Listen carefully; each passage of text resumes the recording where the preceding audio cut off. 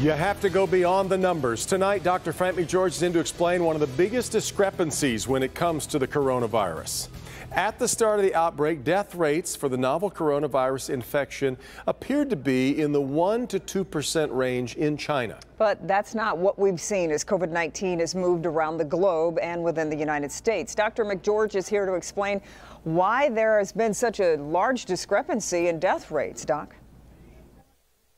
Yeah, Devin and Kim. You know, many viewers have asked why the death rates from COVID 19 are so high in some states and not others, and then more specifically, why they are so high here in southeast Michigan.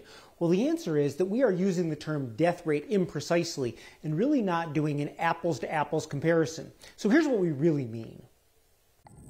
The term death rate implies the percent of people that die of a given condition. In order to know that number, you need to know exactly how many people die of the infection and divide that by the total number of people infected. The problem is that neither of those numbers are exactly known.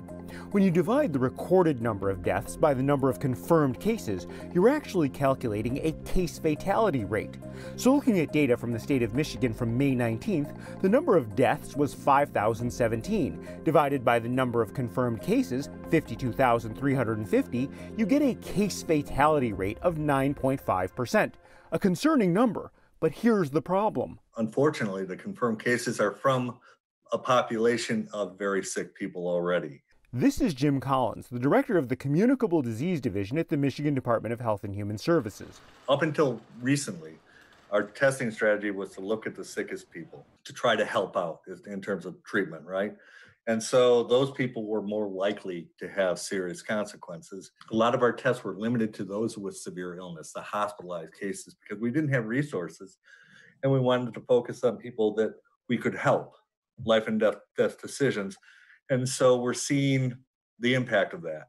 There are more deaths in that population. While a testing strategy that, when resources are, resources are limited, targets the most vulnerable people, is going to artificially elevate the uh, case fatality rate. Basically, in the beginning, we're testing more of the people most likely to die, skewing the numbers.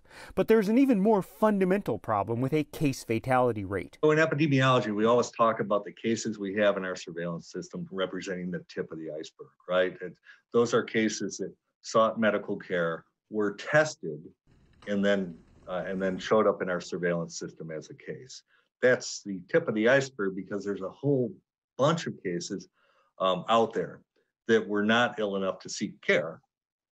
A bunch that were probably asymptomatic altogether, they're still infected. Because those infections go unidentified and uncounted, the number of actual cases is much higher. And if you were to divide the number of deaths by the actual number of infected people, which we don't know, you would find a much lower infection fatality rate. Now, as far as counting deaths, there are some challenges. It's likely that we have undercounted deaths because people died at home without a formal diagnosis of COVID 19. If we added those deaths in, it would actually calculate the fatality rate, and it would be much higher. People have also noticed, Doc, a higher percentage of older people die when they're infected. Is that also related to what you were talking about, this skewed testing, or is it something else? Well, so the case fatality rate for older people is actually higher. In fact, it goes up consistently for every additional decade after the age of 40. Mm. So that is a real issue, not an artificial one from mm -hmm. a mm-hmm. testing bias. Yeah. Okay, Doc, thanks.